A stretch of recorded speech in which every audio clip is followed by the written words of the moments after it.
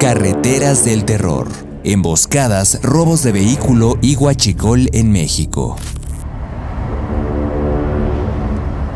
El terror alcanzó a cuatro personas que viajaban en una SUV de Honda en la carretera que une León, Guanajuato con Lagos de Moreno, Jalisco. Era un martes a las 13 horas. Una parada en una gasolinera para ir al baño bastó para iniciar el incidente. Un niño de no más de 12 años se acercó al vehículo y mostró un extraño interés por la camioneta. ¿La camioneta es suya? Está padre. Pero ¿por qué no tiene placas? Arrancaron. Cinco kilómetros más tarde, los pasajeros se percataron que otro SUV los seguía. El vehículo se emparejó y sus tres ocupantes, dos de ellos armados, los obligaron a detenerse. Agáchense y no levanten la cabeza.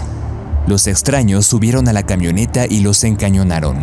Arrancaron nuevamente y el vehículo salió de la autopista hacia una terracería. ¿A qué se dedican? Los criminales les pidieron sus carteras con sus identificaciones.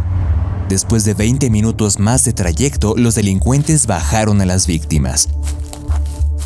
Otros individuos se acercaron a la camioneta y esculcaron sus pertenencias. Cabe mencionar que durante todo este proceso los delincuentes se comunicaban por radio utilizando un lenguaje cifrado para describir lo que veían. En el otro extremo de la comunicación no solamente se escuchaban voces masculinas, sino también femeninas y de niños. Después de otros 20 minutos, los delincuentes subieron a las víctimas a otro vehículo. Se trataba también de un SUV. A bordo se encontraban tres jóvenes consumiendo sustancias y manipulando cartuchos. Arrancaron y los delincuentes en un estado alterado aseguraban a las víctimas que no les sucedería nada malo. Finalmente se detuvieron en un pueblo cercano y los criminales les indicaron que descendieran lentamente. Sorpresivamente, otro individuo bajó sus pertenencias del vehículo y se las entregó. Les dijo que caminaran sin voltear atrás y que no se les ocurriera denunciar ante las autoridades. Las víctimas pensaron que les iban a disparar, pero la camioneta se arrancó y se alejó. Al revisar sus pertenencias descubrieron que su dinero y tarjetas estaban intactos, lo que sugiere que los asaltantes eran profesionales y su único objetivo era el robo del vehículo. Tomaron un taxi para continuar su viaje a Guadalajara, pero notaron la presencia constante de tres vehículos que los seguían de cerca, lo que los llevó a sospechar que aún estaban siendo vigilados. Finalmente decidieron guardar silencio durante todo el trayecto y evitar así cualquier contacto con los habitantes del pueblo, el taxista y otros transeúntes, pues temían represalias por parte de los delincuentes. El terror está sistematizado. David Román, presidente de la Asociación Nacional de Empresas de Rastreo y Protección Vehicular, comentó en entrevista a Expansión que Jalisco enfrenta un problema significativo con los vehículos SUV, que son vehículos deportivos utilitarios, especialmente aquellos de alta gama. Si bien muchos de estos automóviles robados terminan siendo utilizados para otros delitos por el crimen organizado, se tienen reportes de que algunos de estos son exportados hacia Europa del Este y Occidental, lo que plantea la existencia de un mercado negro en el extranjero.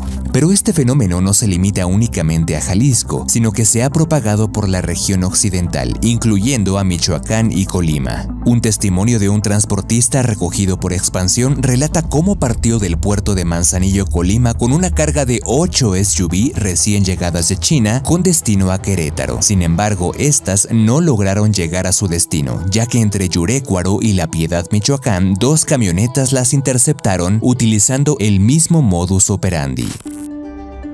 Los múltiples blancos del crimen. Los delitos no solamente se enfocan en vehículos particulares, los conductores de vehículos de carga son también blancos constantes de asaltos en la carretera 150, que conecta el centro del país con Veracruz, un importante punto logístico para el comercio con Europa. Entre los productos más frecuentemente robados se encuentran alimentos, vinos, licores, así como electrónicos y electrodomésticos, pero también los mismos camiones que son desmantelados y vendidos por partes principalmente en Centroamérica. Los materiales robados a menudo son escondidos en ductos de Pemex que antes eran utilizados para el robo de combustible o huachicol. Por si fuera poco, hay otro foco rojo, la carretera 57, ya que seis de los ocho estados por los que pasa esta vialidad están entre los que más carpetas de investigación tienen abiertas por el robo de combustible a Pemex. El intenso tráfico de camiones ha generado un negocio lucrativo de extracción y venta ilegal de combustible y también ha propiciado los ya mencionados asaltos a camiones y robos de mercancía. Y a diferencia de lo que se podría pensar, la mayoría de los asaltos se producen durante el día.